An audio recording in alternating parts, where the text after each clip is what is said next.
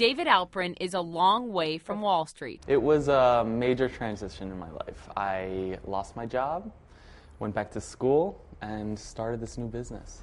After Citigroup laid him off in 2009, David reassessed and completely switched gears.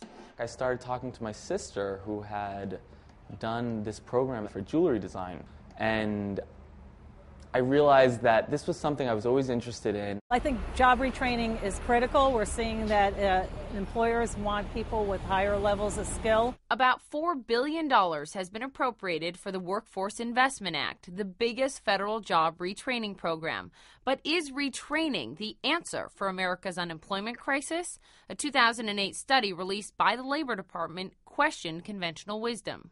The impact for the typical worker it did not seem as if the benefits were particularly large. Uh, absolutely disagree with that. We see time and time again people who have additional training, they are able to go into jobs.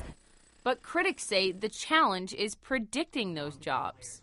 The problem is nobody really, you know, I've been a labor economist um, for for over 15 years, and I don't do a very good job of predicting what the next hot new job is. I don't think we should get rid of the job training programs. I think we need to work on improving them so that they, they're better targeted. These are my jewelry cases. And red tape almost sabotaged David's quest for a new career. Because he was laid off from the financial industry in New York, he qualified for a national emergency grant for job retraining. This was helping people who lived on Main Street but worked on Wall Street.